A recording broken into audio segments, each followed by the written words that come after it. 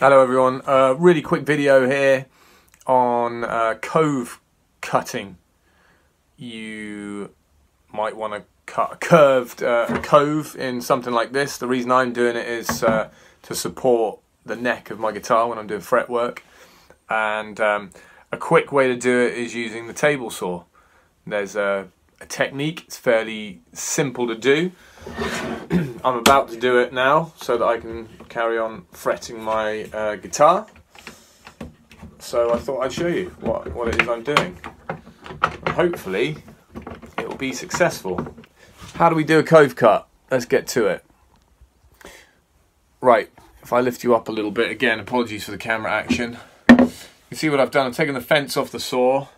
I've clamped this um, spirit level as a guide and I've just got the teeth of the saw blade showing. The intention here is to slide this along nice and slow and easy and cut through that way and then once I've made one pass raise the teeth up a little bit and cut again. So let's see how this works.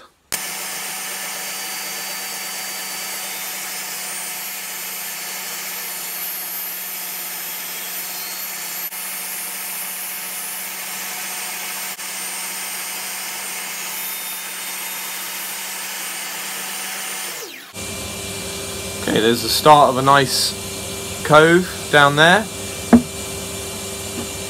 Should work nicely. So this is obviously quite time consuming. Lift the teeth up half a turn and uh, I'll try and speed things up for you.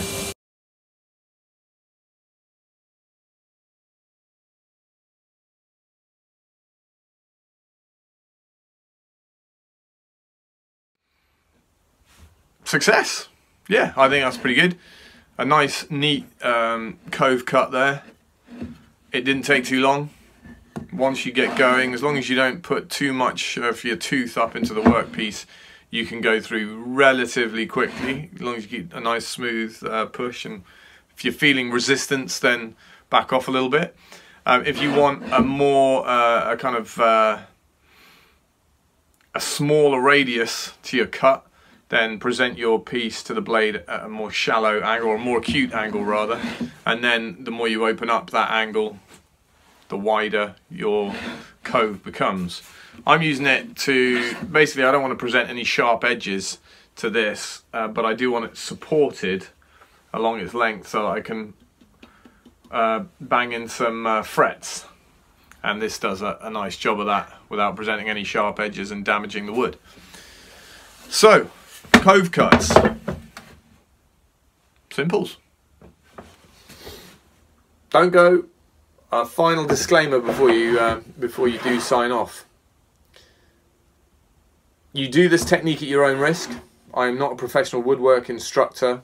I can't uh, see what you're doing in your workshop. So make sure you understand this technique before you try it it's not using the saw in its usual way or what it was designed to do so it has inherent risk in it because of that. Make sure your fence is clamped really securely or even screwed it. If you've got an outfeed table for example screw the fence in make sure it's not going anywhere. Only use the very tiniest cuts on each pass. Only the hardened tips of your blade should be touching the work. Anything else and you start bringing the risk of kickback into play. It's a messy cut. Wear a dust mask. And when you've finished, don't forget, put your riving knife back on. Other than that, it's a great little bit of uh, additional skills in the workshop, so enjoy it. Bye.